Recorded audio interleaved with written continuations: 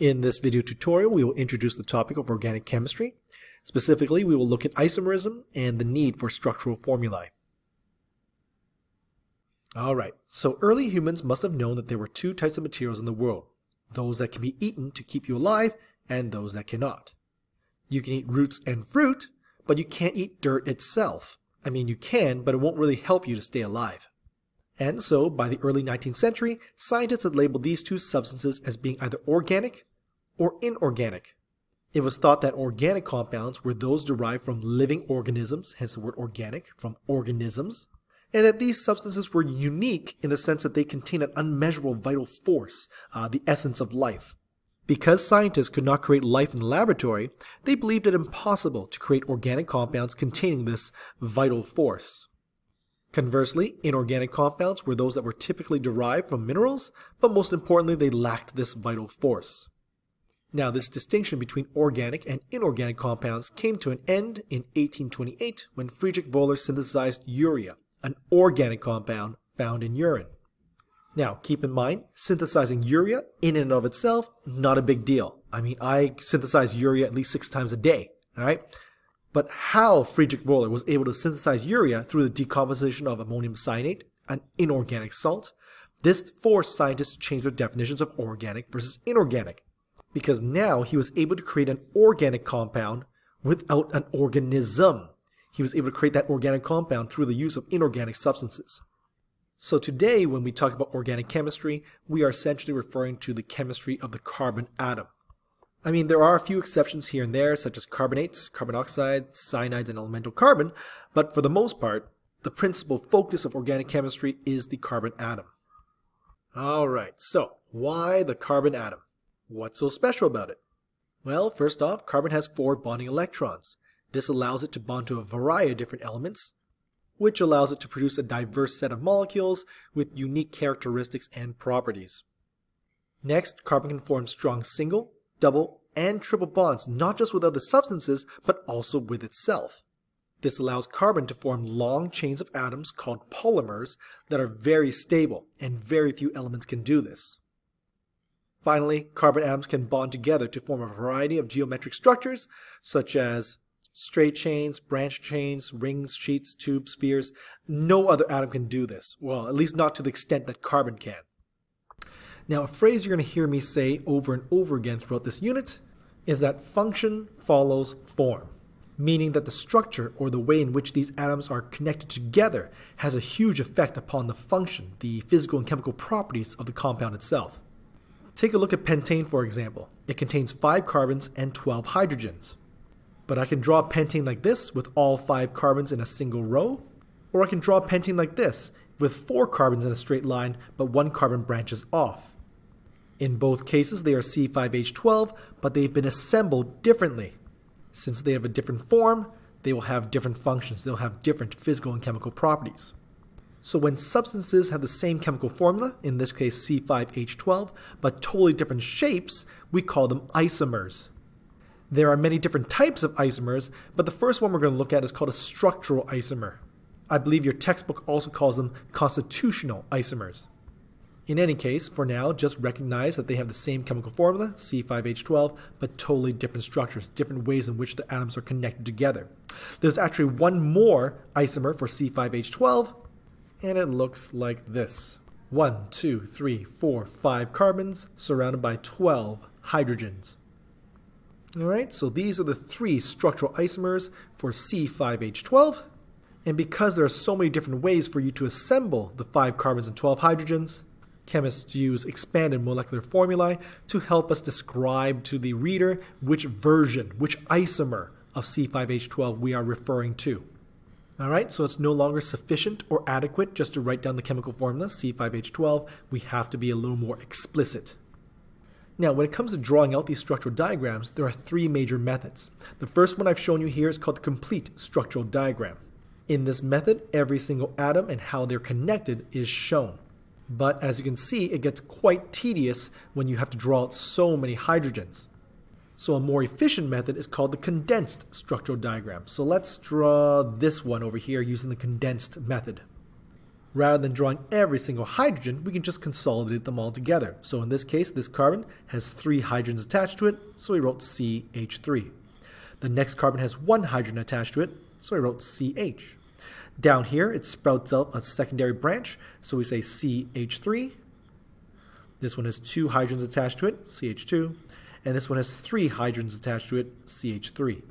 Now be aware your textbook may redraw this as CH3 instead, but my personal preference is to write it as H3C to help the viewer visualize that the hydrogens are on this side of the carbon atom.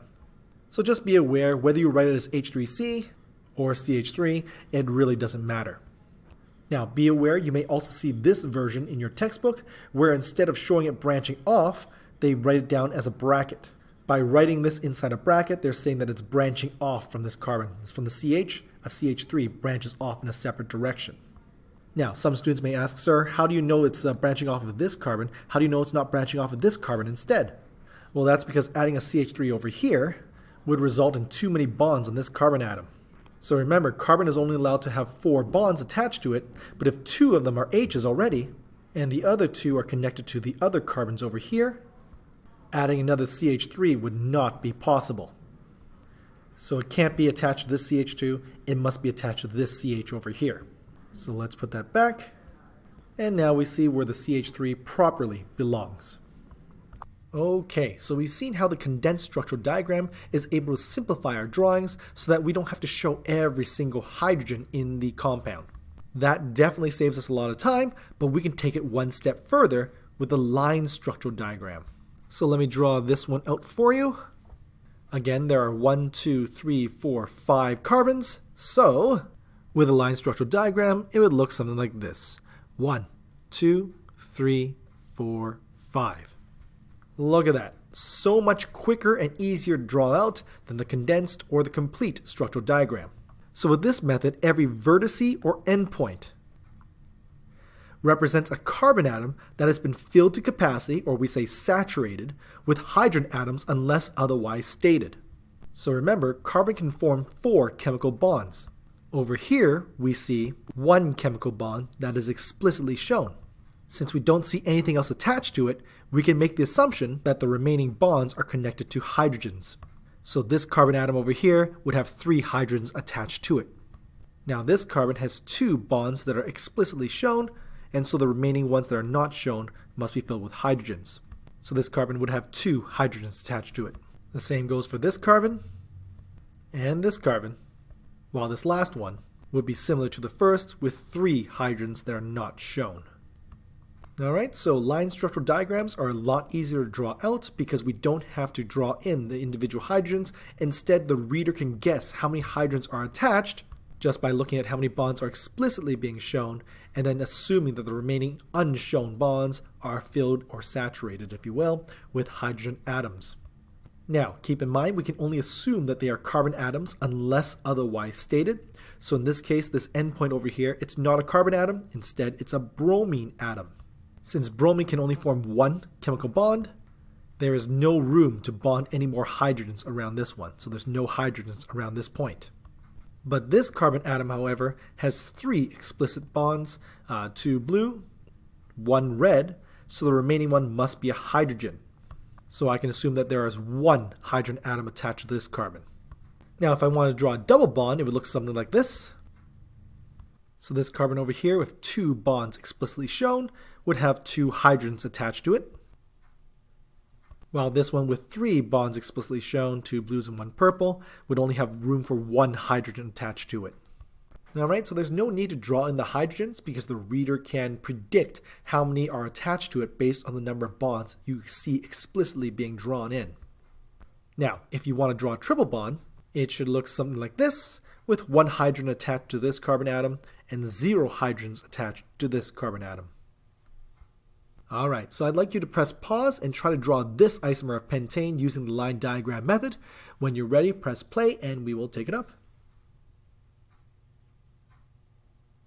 And hopefully you drew something like this. So this carbon atom already has four bonds explicitly drawn, so there's no room for any hydrogens, so this one has zero hydrogens, exactly as we predict over here. Meanwhile, each of these carbons on the exterior have one bond drawn explicitly, so there's room for three more hydrogens here, here, here, and here, as we see in our diagram above. Now, on a test, you can draw any method you'd like, complete, condensed, or line. However, uh, if you try to do a complete diagram, chances are you will run out of time. You won't be able to finish the test on time. That being said, my tests will only have line diagrams on it because I'm not going to waste my time trying to draw every single one of these structures and every single one of these atoms. It's much easier for me to draw line structures on a test than it would be to draw a complete or condensed. So you might not have to uh, draw a line diagram yourself, but you must be able to at least interpret a line diagram because that's all that's going to be given to you on a test. Now, one more thing I'd like to add when you're drawing line structural diagrams is that you need to be careful how you count them. So let's take the example of C6H14. You should draw it like this. 1, 2, 3, 4, 5, 6. All right, so six endpoints or vertices to represent carbon atoms. A common mistake I'll see students make is when they draw it like this. 1, 2, 3, 4, 5, 6. You saw me count to 6, but I actually drew 7 vertices and endpoints. Let's watch that again. One, two, three, four, five, six. Did you catch my mistake? One, two, three, four, five, six, seven, even though I counted six, because I wasn't counting vertices or endpoints. I was counting lines. The moment I counted one, that wasn't one. That's already two endpoints. So you have to be careful. Don't count lines. Don't just go one, because that's actually two. You have to go one, two, three, four, five, six. As soon as you put the pencil to the paper, that's already a one. So that is a common mistake I see students make. Uh, another one that I've only seen happen once, thankfully, and, but hopefully you won't repeat this one. It went like this. One, two, three, four, five, six. Yeah, that is definitely not hexane. As far as I'm concerned, that's only two carbons, not six. So please make your end, uh, vertices and endpoints explicit or obvious. I'm not going to try and guess where you started and stopped. Oh, and please try not to make some weird interpretive art piece. Here's the deal I'm going to make with you. If you make it easy for me to mark, I'm going to make it easy for you to get marks. You make it difficult for me to mark, well, you can guess what the end result of that will be.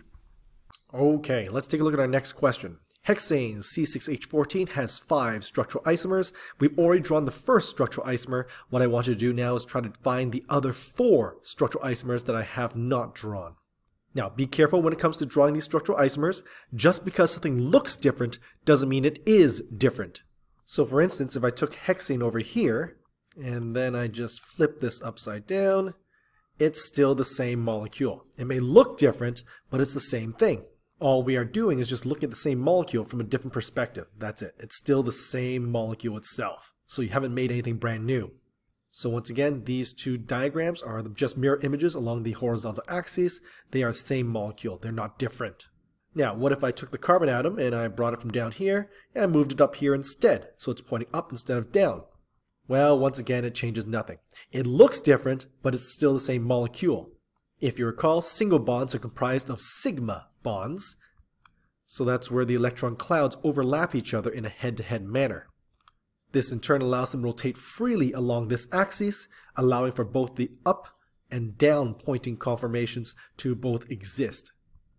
So drawing the carbon atom pointing up or pointing down makes no difference. It's still the same molecule.